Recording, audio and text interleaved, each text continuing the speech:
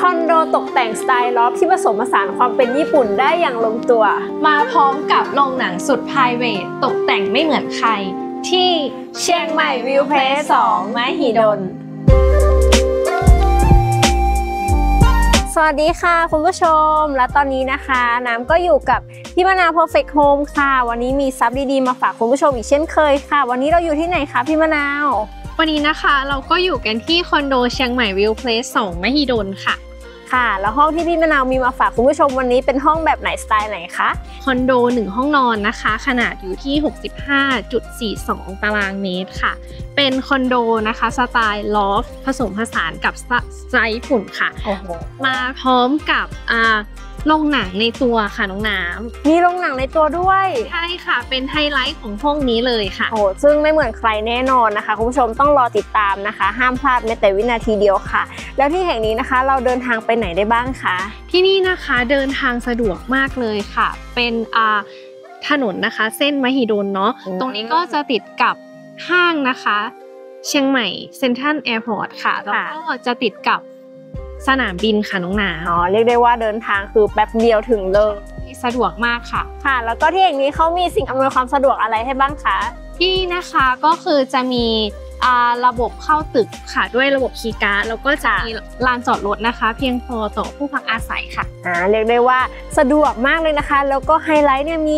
โรงหนังด้วยด้วยขนาดห้องที่กว้างไม่เหมือนใครนะคะ อยากชมแล้วค่ะ เดี๋ยวเราพาคุณผู้ชมไปชมกันเลยดีไหมคะ ค่ะมากันเลยค่ะไปกันเลยค่ะ เอาละค่ะคุณผู้ชมตอนนี้เราอยู่ในห้องกันแล้วเรียบร้อยนะคะ ซึ่งห้องสวยมากๆ เดี๋ยวจะให้พี่มะนาวพาเราไปชมกันค่ะว่าห้องนี้พิเศษยังไงค่ะ ค่ะ อันนี้นะคะน้องน้ำห้องนี้มีความพิเศษคือสไตล์ของเขาค่ะ และการตกแต่งนะคะ ด้วยห้องนี้ค่ะเจ้าของเขาคิดมาแล้วค่ะว่าจะตกแต่งห้องนี้เป็นสไตล์ญี่ปุ่นนะคะ บวกกับความเป็นลอฟค่ะค่ะผสมผสานได้ลงตัวมากค่ะ ค่ะ เข้ามาในห้องแล้วที่อันดับแรกที่เราจะเห็นเลยก็คือประตูใช่ไหมคะ เป็นระบบแบบไหนคะ เป็นระบบอัตโนมัติค่ะน้องน้ำซึ่งค่ะเพิ่มความปลอดภัยให้กับผู้อยู่อาศัยผู้อยู่ได้อาศัยใช่ค่ะค่ะ ต่อมานะคะ เดินเข้ามาเลยค่ะ อย่างแรกที่สะดุดตาเลยค่ะ นี่เลยค่ะถูกต้องวอลเปเปอร์ผนังของเราตรงนี้ ซึ่งสามารถใช้สอยได้ ตอนแรกน้ำก็คิดว่าเขาแบบตกแต่งอะไรสักอย่างหนึ่ง แต่พอพี่วนาบอกว่าอ่าสามารถใช้สอยได้นี่เลยค่ะ ตัวอย่าง ตัวอย่างนะคะคือตรงนี้ค่ะอ่าสามารถแขวนกระเป๋าค่ะล่มหรือว่าอาจจะเป็นแจ็คเก็ตก็ได้อ่าค่ะแล้วแต่เลยว่าอยากจะแขวนเป็นอะไร ใช่แล้วค่ะ ก็คือมันจะมากกว่าดีไซน์ก็คือสามารถใช้งานได้ด้วยอืมดีมากเลยค่ะคุณผู้ชมใครที่มีของเยอะนะคะ แล้วก็ต้องการพื้นที่ใช้สอย อันนี้ก็คืออย่างแรกเลยที่สะดุดตาค่ะ แล้วก็น่าสนใจครีเอทมากเลยค่ะ โอเคต่อมาเลยค่ะค่ะน้ำ ตรงนี้นะคะจะเป็นโต๊ะอเนกประสงค์ค่ะ เพราะว่าตรงนี้คือแล้วแต่อ่าผู้อยู่อาศัยเลยว่าเขาอยากจะใช้งานโต๊ะนี้ ในรูปแบบไหนเนาะไม่ว่าค่ะจะเป็นอาจจะเป็นโต๊ะทานข้าวหรือว่าอ่าโต๊ะทำงานก็ได้ค่ะ สามารถปรับเปลี่ยนอะแดปได้เลยนะคะ ก็อ่าสวยมากๆนะคะ เป็นไม้แล้วก็เข้ากับเป็นอ่าโครงเหล็กนะคะ ก็คือเป็นลอฟผสมกับญี่ปุ่น ใช่อ่าคือเพิ่มความแข็งแรงทนทานด้วยต่อค่ะการใช้งานค่ะใช้งานต่อมานะคะตรงนี้ค่ะจะเป็นชั้นวางโครงเหล็กค่ะอ่าใช่สวยนะคะเป็นแบบสีดำๆแบบนี้สไตล์ลอฟค่ะ ชัดเจน ค่ะมันอ่านอกนอกจากสไตล์ของเขาก็คือจะคงทนค่ะแข็งแรงค่ะ อย่างที่เห็นว่าตรงนี้ก็จะมีการวางของที่ค่อนข้างมีน้ำหนักเนาะอืมใช่ค่ะ ใช้งานได้จริงเลยนะคุณผู้ชมค่ะ แล้วก็มีถึง 1 2 3 ชั้นเลยทีเดียวค่ะ โอเค มาต่อกันที่โซนต่อไปนะคะค่ะเป็นโซนครัวค่ะอ่าอย่างที่เห็นนะคะว่าจะเขาจะเป็นครัวแบบ built-in พร้อมกับบาร์ค่ะค่ะ ใช่ห้องนี้คือความพิเศษของเขานะคะ ก็คือจะเป็นห้องที่ entertainment เยอะมากค่ะ มากจริงค่ะ ใช่ คือต้อนรับเพื่อนๆหรือว่าแขกให้อ่ามีความรู้สึกว่าผ่อนทั้งผ่อนคลายแล้วก็ค่ะ เหมือนอยู่บ้านตัวเองเลย ใช่ค่ะค่ะ โอเคมาในโซนครัวนะคะ จะมีเตาไฟฟ้าค่ะสามหลุมใช่แล้วก็ต่อมาจะมีอ่าชั้นเก็บของด้านในค่ะ ซึ่งค่อนข้างเยอะมากเลยค่ะค่ะ ต่อมานะคะจะเป็นซิงค์ค่ะแบบค่อนข้างขนาดใหญ่เลยก็คือกว้างเลยสามารถวางของเก็บอ่าวางจานได้ได้เยอะเลยค่ะค่ะ ใช่มาพร้อมกับที่อ่าวางจานหลังจากที่เราล้างเสร็จแล้วล้างแล้วใช่ก็คือจะมีความเป็นระเบียบค่ะ ค่ะเนาะแล้วก็อย่างที่เห็นค่ะจะมีไมโครเวฟขนาดกระทัดรัดค่ะอืมแล้วก็มีอ่าช่อง built-in ด้านบนเหนือศีรษะของพี่มะนาวนะคะคุณผู้ชมสามารถเก็บของได้ได้เยอะมากเลยค่ะค่ะทุกช่องเลยอ่าใช่ค่ะ ก็คือสามารถเก็บของได้หมดเลยค่ะนอกจากนั้นค่ะ ตรงทางฝั่งน้องน้ำค่ะ ใช่จะมีลิ้นชักให้เก็บของอีกโอ้โหนะคะเน้นพื้นที่ใช้สอยแบบเยอะมากนะคุณผู้ชม ตรงนี้ก็เก็บของได้นะคะ แล้วก็ตั้งแต่เดินเข้าห้องมาเนี่ยเราก็จะเห็นบาร์มาเลยนะคะ เป็นรูปทรงแบบเหมืตัอนว L ค่ะใช่ตัว L ค่ะ แล้วก็อยู่ตรงข้ามกับผนังเนาะแล้วก็ตกแต่งด้วยไฟสวยงามมากเลยค่ะ พาเพื่อนๆมาจอยได้นะคะค่ะ แล้วก็นอกจากนั้นยังจะมีตู้เย็นค่ะขนาดค่ะไม่เล็กแล้วก็ไม่ใหญ่จนเกินไปอืมสำหรับห้องนี้ค่ะเขาก็มีช่องสำหรับตู้เย็นให้เลยนะคะคุณผู้ชมค่ะ นอกจากนั้นนะคะห้องนี้ตรงนี้ยังมีเครื่องซักผ้าฝาหน้าค่ะใช่ก็คือครบครันมากเลยค่ะ แอบไว้ตรงนี้ถ้าใช่เราไม่เห็นถ้าเราไม่เดินเข้ามานะคะเราก็คิดว่าเป็นเคาน์เตอร์นะคุณผู้ชม สามารถวางของได้ด้วยอีกเช่นกันค่ะ ใช่ค่ะ ด้านบน สวยมากค่ะตรงนี้คือใครที่เป็นสายตี้ต้องชอบแน่นอน โอเคต่อมานะคะค่ะน้ำตรงนี้คือจะเป็นไฮไลท์ของห้องเลยค่ะค่ะค่ะ ก็จะพบกับห้องอ่าโซน living room นะคะ ซึ่งจะเห็นได้ว่าอย่างที่บอกเนาะว่าห้องนี้เป็นสไตล์ญี่ปุ่นค่ะน้องน้ำค่ะตรงนี้คือจะชัดเจนเลยชัดเจนมากสไตล์ญี่ปุ่นมากๆค่ะค่ะด้วยการตกแต่งอา ของเสื่อทาทามิค่ะอ่าเป็นใช่เสือทามิของญี่ปุ่นนะคะ ซึ่งมีทุกบ้านใช่แล้วญี่ปุ่นใช่ค่ะ ก็คือสามารถใช้งานได้จริง คือมันมันจะไม่ได้เป็นเสื่อที่แบบแข็งนะคะค่ะนุ่มๆใช่นั่งและนอนได้อ่าจริงค่ะค่ะโออุ้ยเคตรงนี้มีหลุมด้วย ใช่ค่ะอ่าตรงนี้ก็คือเราสามารถนั่งลงไปจะทานข้าว หรือว่าจะพูดคุยกันได้ก็คือได้หมดเลยรับแขกอะไรใด ๆนะคะ นอกจากนั้นนะคะด้านทางด้านหลังค่ะจะเป็นชั้นวางของค่ะ ไม่ว่าจะวางของตกแต่งหรือว่าจะเก็บของใช้ส่วนตัวค่ะก็ได้เช่นกันค่ะ ตรงนี้เลยค่ะคุณผู้ชมด้านหลังน้ำก็ยังมีนะคะ คือห้องนี้เน้นพื้นที่ใช้สอยแบบจริง ๆ เลยค่ะสำหรับใครที่มีของเยอะนะคะค่ะ นอกจากนั้นค่ะน้องน้ำค่ะถ้าไม่สังเกตก็คือจะไม่เห็นเลยเอ๊ะว่าอะไรคะห้องนี้ยังเก็บของได้มากกว่า ที่ชั้นวางที่เห็นอีกค่ะ ตรงไหนได้บ้างคะก็คือด้านล่างฮะอย่างนี้เลยค่ะ ทุกช่องนะคะสามารถเปิดและเก็บของได้ค่ะ โอ้ my god มากค่ะคุณผู้ชมคือนอกจากพื้นที่คือนะคิดว่าเก็บของได้เยอะแล้วนะคะ ตรงนี้ด้านล่างที่เรากำลังนั่งอยู่ตรงนี้สามารถเปิดเก็บของได้หมดเลย ถูกต้องไหมคะ ใช่ค่ะ โอ้โหโอเค นอกจากนั้นนะคะค่ะยังไม่หมดเพียงเท่านี้ค่ะ ห้องนี้อืมก็คือค่ะสามารถทำเป็นโรงหนังได้อีกค่ะน้องน้ำ โรงหนังเลยเหรอคะใช่ค่ะ ด้วยความที่เจ้าของนะคะเขาดีไซน์ห้องนี้ให้มีโปรเจคเตอร์ค่ะสำหรับ entertainment เนาะค่ะ ค่ะก็คือห้องนี้ครบจบที่เดียว ไม่ต้องออกไปข้างนอกกันเลยค่ะ คุณผู้ชมค่ะค่ะ แล้วก็ ตรงนี้นะคะเจ้าของค่ะเขาได้ทำบานสไลด์โอ้โหข้างหลังนี้เขาจะเป็นกระจกค่ะ เพื่อที่ว่าเพิ่มอ่าทำให้ห้องดูกว้างใช่ไหมคะใช่ค่ะอ่านี่ค่ะคุณผู้ชมในรูปแบบของการเปิดออกมาแล้วนะคะ ก็จะเป็นกระจกสะท้อนของในบริเวณห้องนี้เลยนะคุณผู้ชมพร้อมกับมีโปรเจคเตอร์อยู่ด้านบนนะคะ เอ๊ะมีลำโพงด้วยใช่ค่ะ ก็คือจะให้ความรู้สึกเหมือนอยู่ในโรงหนังส่วนตัวเลยใช่ โอ้โห และนอกจากนั้นนะคะเขายังอ่าจะเพิ่มบรรยากาศให้เป็นโรงหนังเข้าไปอีกนี่โดยเลยการที่มีม่านอ่าทึบแสงค่ะค่ะถ้าเกิดว่าไม่ต้องการแสงจากข้างข้างนนอกอกคือสามารถปิดม่านได้เลย ห้องนี้ก็จะรู้สึกอ่าให้ความรู้สึกเหมือนเป็นโรงหนังจริงจริง ๆ เลยๆค่ะค่ะ ก็คือจะมืดทึบเลยค่ะ แล้วก็แบบว่ามีความแบบเหมือนส่ง ยิ่งแบบว่าให้เหมือนลงหนังขึ้นไปอีกก็คือผ้าม่านสีแดงเลยใช่ค่ะ ตรงนี้นะคะก็ สามารถ enjoy ได้นะคะทุกคนนี่แล้วก็วิวข้างนอกก็คือ มองออกไปสุดลูกหูลูกตาเลยคุณผู้ชมเห็นวิวต้นไม้สีเขียวนะคะซึ่งใช่ค่ะ ตรงนี้ก็สามารถเปิดรับลมได้อีก ใช่คืออาแสงธรรมชาติเราก็ได้จากตอนกลางวันแบบเต็มๆเลยค่ะค่ะ ถ้าไม่ต้องการก็คือปิดม่านก็คือเราก็จะไม่ได้ไม่ได้แสงเลยค่ะค่ะอ่าเหมาะสำหรับกับคนที่กลางวันอาจจะอยากพักผ่อนอย่างเงี้ยค่ะ ใช่แล้วค่ะหากต้องการลมธรรมชาติก็เช่นเดียวกันนะคะ ก็ ใช้มุ้งลวดแล้วก็เปิดประตูกระจกบานสไลด์ได้นะคะ โหอเนกประสงค์เยอะจริงๆค่ะห้องนี้ค่ะค่ะ แล้วก็ในห้องนี้มีอ่าเครื่องปรับอากาศให้ด้วยใช่ไหมคะถูกต้องค่ะห้องนี้นะคะจะมาพร้อมกับ เครื่องปรับอากาศ 2 ตัวค่ะ ตัวแรกคือจะอยู่ที่โซนนี้เนาะค่ะโอเคเป็นตัวใหญ่มากเลยนะคุณผู้ชมค่ะก็ใช่คือค่ะคือเพียงพอ เพียงพอเลยเย็นทั่วห้องด้านนอกนี้เลยนะคะ อันนี้ก็จะเป็นในส่วนของโซนด้านนอกหรือว่าโซนรับแขกนั่นเองค่ะ โซนต่อไปเป็นโซนอะไรคะพี่มะนาว โซนต่อไปนะคะก็คือจะเป็นโซนห้องนอนค่ะอ๋อซึ่งอาจจะกั้นด้วยบานสไลด์แบบกระจกใสค่ะ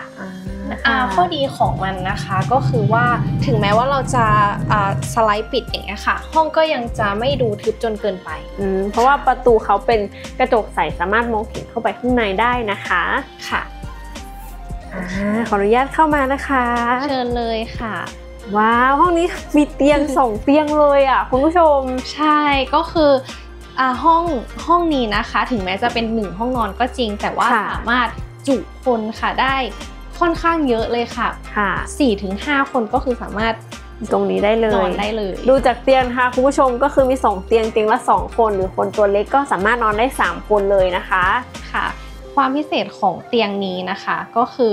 สามารถพับเก็บได้ค่ะ เพื่อเพิ่มพื้นที่นะคะ โดยการที่อ่าสไลด์เตียงเก็บเข้าไปด้านล่างอ๋อของเตียง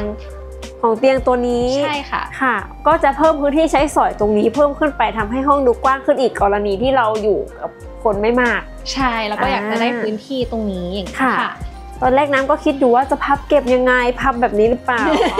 ไม่ใช่เขาสไลด์เข้าไปนะคะ ใต้เตียงตัวนี้ค่ะ โอ้โหเก๋ใช่กูดค่ะมาก และด้วยดีไซน์ของห้องนะคะค่ะอเอาวัสดุที่ใช้ในการทำอะค่ะคือค่ะจะเป็นเหล็กใช่ไหมคะ ก็ค่ะคือเพิ่มความคงทนแข็งแรงอืมให้ให้กับอ่าการใช้งานอย่างเงี้ยค่ะค่ะ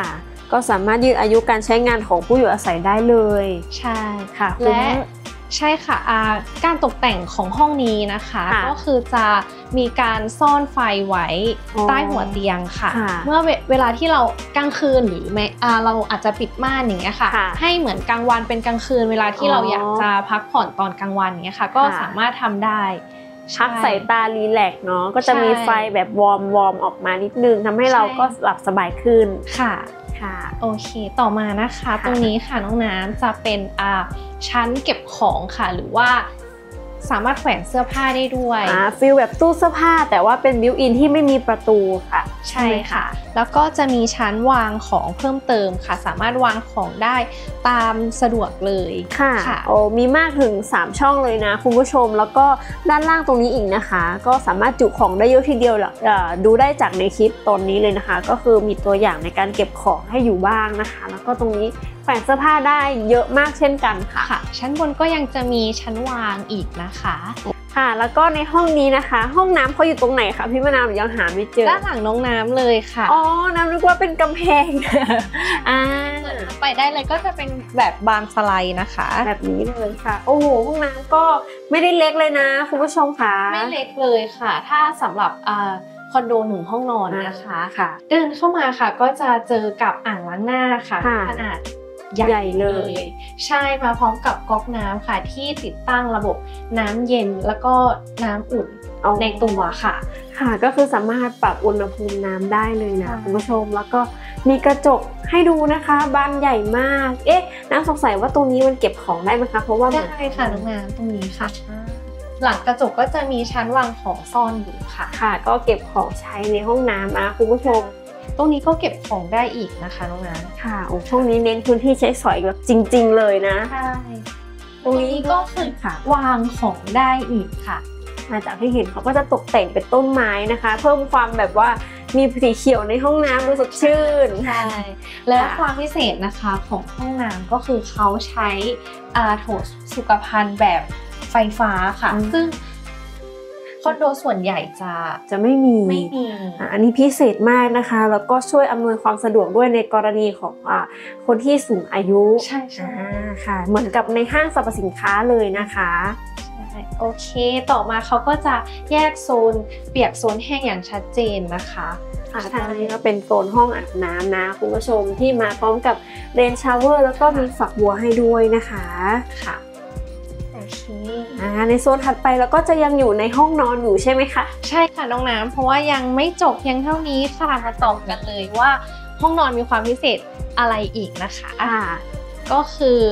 อ่าเริ่มจากม่านค่ะ เขาจะใช้ม่านที่ค่อนข้างหนาพิเศษเนาะค่ะ เวลาปิดก็คือจะป้องกัน UV ใช่ป้ป้อองงกักันนแสงแดดค่ะ